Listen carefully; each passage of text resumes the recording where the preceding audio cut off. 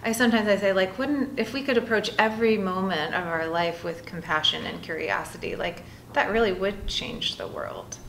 Welcome to Shineable, the podcast with insights and inspiration to live your best life. My guest today has a big dream to make mindfulness part of our everyday education system.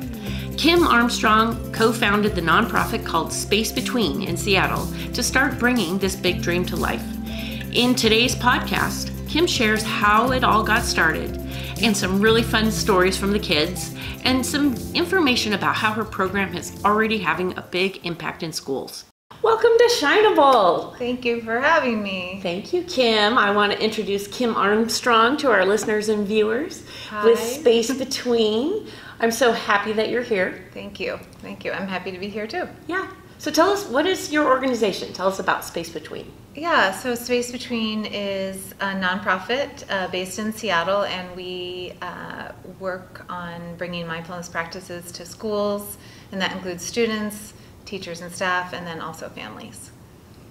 Excellent. So mindfulness practices, mindfulness, that's a big word, right? Everybody's talking about mindfulness now, mental health. Why don't you tell people what mindfulness means to you? Yeah, so the definition that we use at Space Between is the practice of being in the present moment with compassion and curiosity. Uh, we combine two definitions, um, Ruth King and then Dr. Christopher Willard, and um, and then there are parentheses behind that, so you can choose what to do next. So just that by pausing and practicing and being aware of the present moment, we have a little bit more space between all the things that are happening out in the world and kind of how we respond. Because we have more awareness, we have more compassion, we have more curiosity rather than judgment, and so over time we have more space between. I that. I was wondering how that name came about. Yeah, so I mean, we were thinking about a lot of different things, right? The space between our ears, the space between our thoughts, the space between all the things that happen. And then there's also a Viktor Frankl quote. Viktor Frankl wrote, wrote Man's Search for Meaning. Um, he was a, a, psychologist and a Holocaust survivor. Mm. And um, uh, he, his quote says, um, between stimulus and response, there is a space and in that space lies our power to choose. And mm. in our power to choose is our growth and our freedom. Or something very similar to that right? So this idea about creating more space. I love that. Yeah. That's amazing. So yeah. i know you had an idea of doing a, a little mindfulness exercise yeah, maybe we could just do a quick practice. Let's do it. Okay. And our okay. viewers and listeners, yeah. you can do it too. Yeah. um, so, one of the things that we often start, especially for people that are new to mindfulness, is using our senses because our senses are always in this moment rather than our mind, which can be past, oh, yeah, future, whatever, but our senses are always here. Um, so we'll do one and we'll just use a couple of our senses. So you could close your eyes if you like, okay. or you could look down. It's kind of your choice. And then we'll just first tune into our sense of hearing and just noticing any sounds we hear in this space we're in right now. Bringing in those elements of curiosity and compassion. And then turning your attention to your breath without changing the way you're breathing, simply noticing the feeling of your breath moving in and out of your body. Perhaps you notice kind of where you feel it the most, maybe the temperature, the sensation. And then turn your attention simply to noticing what it feels like being held by the chair, kind of your bottom in the seat. Notice the sensation of the air in the room on your skin. And then let your attention go to either sound or breath or sensation in your body, and we'll just rest there for like 15 seconds. If your mind wanders to all the things, just come back to the one you chose. Now let's take a slow breath in through our nose. Release it out through your nose or your mouth. And then if your eyes are closed, gently flutter them open. Maybe just let your eyes rest on something just a few feet away just to orient you back to the space. I see some flowers, some yellow flowers. Yeah, so that's just an example of a mindfulness practice. I love it. And is that an example of something you would do in the schools with the kids? Yeah, I mean, a little bit more playful. Often with the kids, that was more of a, an adult oriented. We would definitely do that with adults. Yeah, yeah. And we do something similar with kids, but just with a little bit more play and often we'll, we'll, a little more movement. We might have them move, rock from side to side, and notice and things like that. Okay. Yeah. Yeah, but we always do, we start all of our classroom lessons off with listening to a bell. Um, so like practicing listening, and then we always do some sort of breath practice. And a lot of the ones that we do with kids are very, um, especially the younger ones, very kind of imaginative and creative. And then they also create their own practices, which is really cool. Oh, that is cool. Yeah. Yeah. Yeah. Well, there was a, um, a kindergartner uh, like a month ago who made up unicorn breath. Oh, really? Yeah, so she, you breath breathe in and you bring your uh, arms up here like the horn of a unicorn, and then you breathe out kind of down like that. And I was thinking it was like breathe in the unicorn horn, breathe out. She didn't say this, but it's like a rainbow going down. Yeah. I Yeah. love that. Yeah, yeah. Unicorn breath. Yeah, yeah, and I mean that's just one of so many that the kids come up with. It just there was another little girl that did. Um, she loves octopi, and she did octopus breath, where you have your five, f- and then you put your three on top, and then the octopus would come up and then come down. Ooh, that's breathe pretty. breathe out. Yeah, it's, it's, it's, the kids are amazing, and that's like a big part of actually what we're doing is trying to get some like leadership and ownership, so anybody can lead uh, at least a breath practice with other people. That is wonderful. Yeah. Yeah. Yeah, yeah. So, and, and and is the response? Is it? Does it take some time for them to get you know into it, or is it just immediate? They they enjoy it and they're engaged. Uh, it depends on the classroom and it depends on the students. I wouldn't say that the you know the first day we have every student you know engaged, um, but sometimes it depends on on kind of what what the, the community that they've already built in their classroom. Yeah. So um, by the end, I mean we just have been going through our evaluations and kids have been writing thank you notes and stuff. And I'd say by the end, I mean most of our results from the years are like 90 and 95 percent of the students have like found a practice that works for them and have found at least one positive thing that's changed whether they feel like they're less worried or they're less angry or they're they're kinder or whatever it is i mean we hear things like mindfulness helped me not punch my brother um, thank you for helping that. with me my panic attacks mindfulness has helped me be calm and kinder i mean uh, every kid is a little different in terms of the benefits that they find but um, yeah That's it's- amazing. it feels good to see the impact. Yeah. Yeah. So, um, how long have you been doing this? You know, tell me how it started. How did you get into mindfulness, and what was the inspiration for you to start the organization? Yeah, yeah. So I started practicing mindfulness in the form of yoga um, when I was pregnant with my daughter. She's 22 now. So when I was doing prenatal yoga, so that was like my first entry into it, and then just like it kind of grew over the years. Um, Between has been around. We the idea for it came about in May of seven years ago. Okay. So um, I had been previously working for another nonprofit called Washington Green Schools, which is now called EarthGen, and working with students and schools and teachers on kind of um, using the school as a like a environmental laboratory and thinking about action projects that students could take, whether it was like starting a composting program or building a garden or um, educating people about turning off lights and um, energy use and things like that. And we kind of had a, a family. Health, some family health issues at that time, and I had to take a leave of absence, and I decided not to go back, and just started thinking about like what, what, what, what is helpful for young people being well, and I decided to go back to school um, to do my master's in psychology. I, I got certified to teach yoga and meditation, and did courses with mindful schools.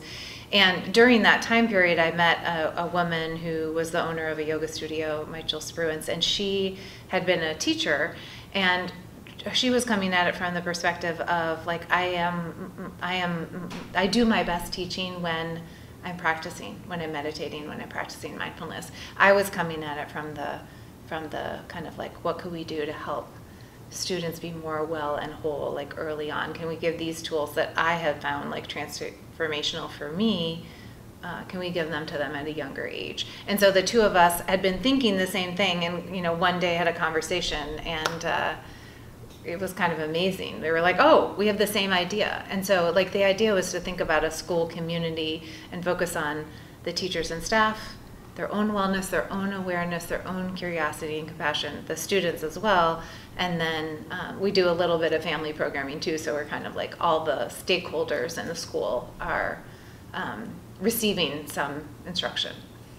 Fantastic. Yeah. Because, and I, um, I love that because you know it, it's true. The teachers are so important, and if, especially if you're helping kids learn something new with mindfulness, you know, you want the teachers to also be part of that experience, have their own experience, and then they can take it forward because you're not there every day.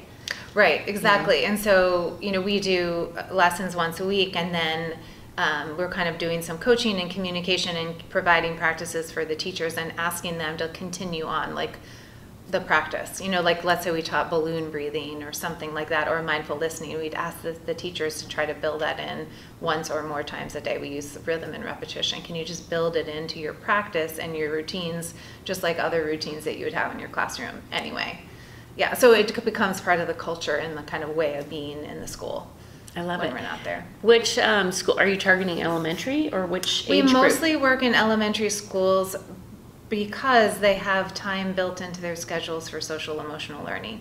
It's a little harder in middle schools and high schools, although I think it's just as needed for us. Uh, we have done a little bit in some middle schools and some high schools, but um, it's just a little bit more difficult because they, you know, they have their classes that they need to take and they don't have like as much freedom. So, mm-hmm. any, but, yeah. Oh, any like sports teams or, or, you know, drama clubs or anything like that? We have done some of that and, um, most of our work is focused on the, you know, during the school day, but we have, like, we've done some, some stuff with swim teams and we actually have been asked a few times to do some things with soccer teams and things like that. So, and we do some after school. Um, with the Boys and Girls Club and the Oh, YMCA, great. and we've done some of that too, like mindful movement classes and things like that.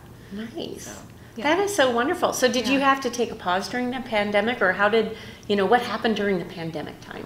Yeah, um, good question. We so the the first few months of the uh, when everybody was still figuring things out, when everything got shut down, we um, you know we couldn't go into schools and and people didn't have devices, so we ended up offering three times a week for adults, so for teachers and staff and parents and guardians, uh, a mindfulness practice, and then three times a week we offered one that was kid focused, um, just via Facebook Live.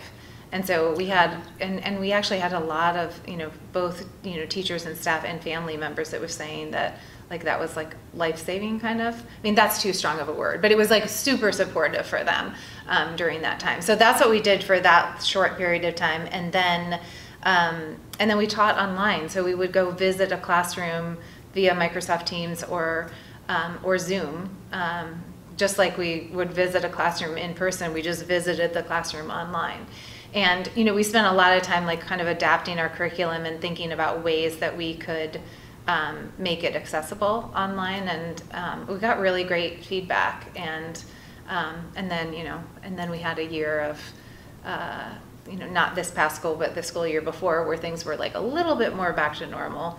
And then this year, much more so. Yeah, so you're coming up to the end of the school year, correct? Mm-hmm, Um, and then, so during summer, what happens? Is there just a break? Uh, it's a little slower. Um, we do some workshops. Um, we have some summer camps. We're doing, um, you know, workshops with other organizations like the Seattle Art Museum and School's Out Washington and things like that. And then typically towards the latter part of August, we start working in schools again. So like doing some of their professional learning and then um, some of the stuff for for the students as well. Okay. So yeah. Sounds Yeah. Amazing. I Yeah. want to go to mindfulness camp with you. that sounds fun at the art museum. That would be That's for educators, yeah. Yeah. Yeah. yeah. Oh my goodness. So how many teachers, how many mindfulness teacher instructors would you have out in the schools? Is it just you, a small team, or do you have a whole bunch? Yeah, we have um, we have four at, the, at the moment our model is we have four co-directors three of whom teach in the schools in addition to doing other kind of jobs in the organization and then we have a few contractors. We're actually hiring right now for some additional people. Okay. um, but we have some contractors that are going out into the schools. We're like a pretty lean team. Um, we do a lot with what we have Yeah, it Yeah. sounds like it. Yeah. It sounds and what a big impact. Would would you say like do you have stories of the biggest impact? I know you shared some some of the feedback from the kids. What yeah, else have you heard? Yeah, so um, we so we measure, you know, every year kind of both those stories about like how kids have been affected, but then also things like you know, um, you know, what percentage of um, students had found a practice that was helpful and things like that, and then. Uh, an, another thing that we've been looking at is in the schools where we've been for a few years, we've been looking at this climate survey data through Seattle Public Schools, where they look at different measures and students' perception of things. And um, in the schools where we've been for a while, there's three kind of indicators where we feel like we have made, an, knowing we're not the only thing, but there's a correlation. Um, and those are a feeling of belonging, a feeling of safety, and um, social emotional learning. And in those schools where we've been for a period of time, they the average score went up like 20 percentage points, like from the 60s until the 80s. Um, some of our other schools, and this is kind of different with every school in terms of how they measure, like they've noticed um, reductions, significant reductions in, in um, students being referred to the office for behavioral things or, you know, discipline data and things like that. So, um, Wow. so aside from just like the feel good stories of, you know, students saying, you know, this has helped me so much, or teachers saying, like, wow, we had one teacher that said, like, I think a 30 year veteran teacher, this is the first thing that has ever really worked to help Oh, wow. me and my students. Amazing. Yeah. It's amazing. I Yeah. love that. Yeah. So you're seeing like a huge impact locally. What's your big dream with your with Space Between? What would you love to see happen? I think, I mean, this is a long term dream, but I, I think that if mindfulness was just part of our education system, I think that, I mean, that would be a dream. And there are other organizations in the country that are also working on that. We're part of like a national coalition of like sharing best practices and kind of supporting each other. But um, What's the national coalition called? we don't have a name. No? Just, Okay. oh, coalition, no. I don't know. We don't have a name. Okay, Yeah. no It's worries. just If we other, find it's it, we'll other, add it to the show Yeah, there's yeah. other, other, other organizations that are doing mindfulness in schools or with youth. Yeah, and, Okay. and, and, yeah, I think that our calendar name has something like that, but I can't remember what it's called, but anyway. Okay, no Yeah. worries. Yeah, no worries. So I love that. I love that big dream. And, you know, think of the impact. and You're making such a huge impact with each student, with each teacher, with each class. And then that just amplifies and grows. Could be amazing. I, I think, you know, so many of the issues that we have as adults, as teenagers, with anxiety, with mental health, mental health, um, if we can create from a young age just a totally different almost outlook right Yeah. and way of being that would be so beautiful Yeah. and you're doing it Yeah, I we are doing it as a team and, and, and like in partnership with the, with the teachers and the schools and the students, so, yeah. Yeah. We are, and it feels good to be doing it. And I sometimes I say like, wouldn't, if we could approach every moment of our life with compassion and curiosity, like, that really would change the world. Yeah. yeah i love that so um before, I know we're, we're getting a little close on time. What else, is there anything else you'd like to share with our viewers and listeners?